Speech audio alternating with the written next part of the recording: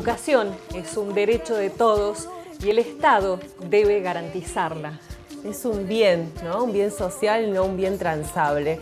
Esa es una de las, eh, de las expresiones que manifestaron los rectores cuando estuvieron reunidos hace unos días en oportunidad de comenzar a discutir eh, lo que se preveía que iba a pasar, este proyecto de diputados que hoy se va a estar tratando en la Cámara de Senadores eh, para distribuir, son unos 1.028 millones de pesos que corresponde eh, por cómo se han manejado siempre, ¿no? que se distribuye entre las 56 universidades nacionales que tiene la República Argentina y no discrecionalmente, algunas sí, otras no, y que quede solamente en 23. en esto que vos decías, ¿no? es un bien no transable, no comerciable, no es un bien de mercado. Por eso hoy en día se está movilizando toda la comunidad universitaria. En el centro de la ciudad de Río Cuarto se está realizando eh, la réplica de la misma en todos los lugares del país en esta Jornada Nacional de Protesta. Y ya tenemos otra vez contacto telefónico con nuestra compañera Rosa Arias. ¿Qué tal, Rosa?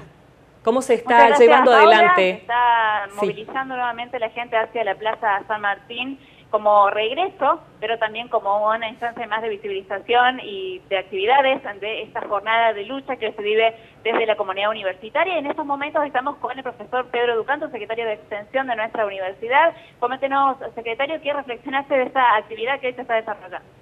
Mira, eh, me parece muy importante lo que se ha vivido hoy. Eh, creo que, por lo menos yo no lo, no lo vi nunca, una gran movilización. Eh, con, alegría inclusive, pero con una contundencia enorme, eh, entendiendo que algunas actitudes que se toman desde algunos estamentos del Estado afectan a la universidad y si afecta a la universidad de alguna manera nos afecta a todos como sociedad.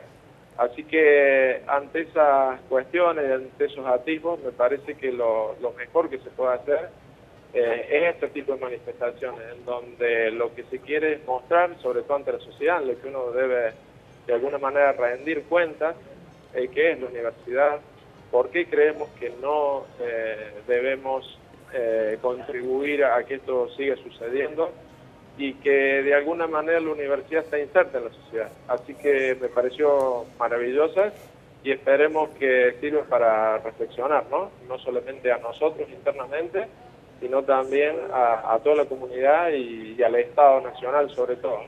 Y el apoyo de toda la comunidad universitaria y de toda la población en general.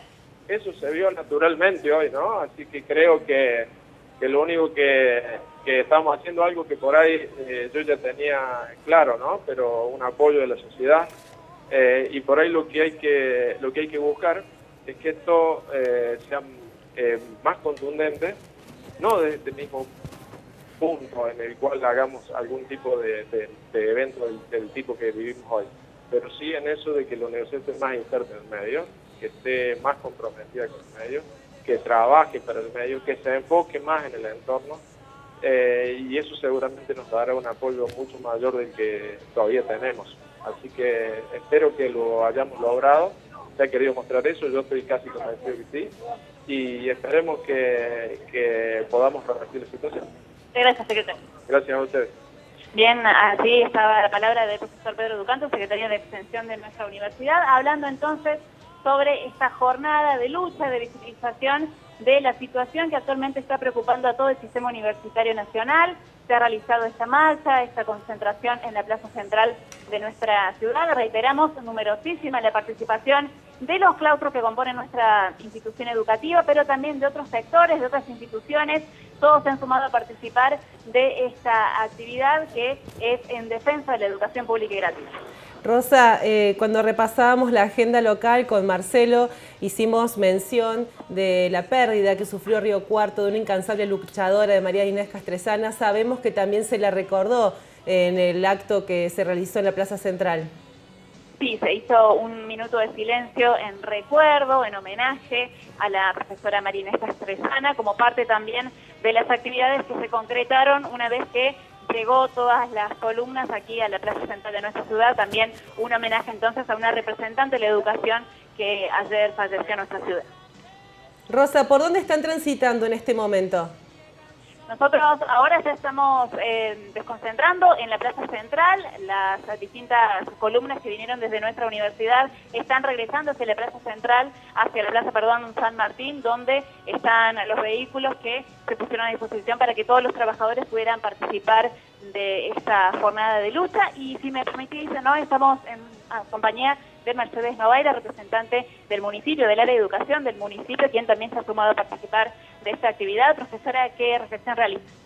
Bueno, la reflexión es que hemos venido a acompañar a este espacio de, reclamo donde le pedimos al gobierno nacional que revea los montos asignados a las distintas universidades del país, porque, bueno, lo personal yo no podía haber llegado donde llegué si no fuera por el valor de la educación pública. Soy parte de esta Casa de Altos Estudios, quiero mucho la universidad, le apuesto a cada alumno desde el rol que me toca. Y como creo en la apuesta de tantos docentes más, también estoy hoy acá en mi doble rol como funcionaria, pero también como docente de esta institución. Creo que el gobierno tiene que repensar las decisiones que ha tomado porque esta universidad puntualmente y en el lugar geográfico en el que está genera vínculos, fortalece a la comunidad toda, a la provincia y de esta universidad han salido excelentes profesionales eh, hacia el resto de las provincias y hoy a nivel internacional tenemos colegas trabajando y mostrando todo lo que han recibido de, este, de esta universidad. Yo en lo personal tengo mi título de carrera de grado, me pude doctorar aquí, desde el CONICET pude recibir la beca para poder ser doctora en química que soy. También me postdoctoré gracias al CONICET, razón por la cual creo que hay mucho por rever, porque toda esta formación que tanto hemos podido acceder, evidentemente que se están reduciendo las posibilidades para otros. Por eso estoy acá.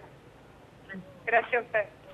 Bien, la palabra de la profesora Mercedes Novaira, representante del área de educación del municipio, también presente en esta jornada de lucha, presente en esta jornada de defensa de la educación pública, en representación justamente de las autoridades municipales. Rosa, como lo señalaba la profesora, una jornada de lucha para que no se coarten las posibilidades de formación para todos los sectores de nuestra sociedad. Así es, y destacar, Paula, que es una lucha que no solo es de la comunidad universitaria, que actualmente desarrolla sus distintas actividades en nuestra casa de estudios, sino que tiene que ser una lucha conjunta de todas las instituciones, de toda la sociedad, en defensa de este derecho que es la educación. Bien, gracias. Gracias, Rosa. Hasta luego. Hasta luego. Es así, Paula. Pedro Ducanto, secretario de Extensión, justamente, ¿no? Es una palabra importante en este sentido porque las tareas de extensión son una vinculación permanente entre universidad y sociedad. Hay un vínculo, una simbiosis, ¿no? Que se generan las actividades que se llevan adelante eh, y sin dudas todas estas actividades que como decía la profesora afectan a la sociedad directamente eh, se deberían mermar eh, por falta de presupuesto. Me gustó lo que decía también haciendo hincapié en lo que señalaba el profesor Pedro Ducanto. Él hacía, señalaba que no es casual lo que está pasando. Quizás debemos de aquí en más enfocar más nuestra atención en la comunidad, en el medio en que la Universidad Nacional está inserta y salir de puertas afuera, de fronteras de la universidad hacia afuera para reforzar el nexo, el vínculo que ya tenemos con Río Cuarto y la región.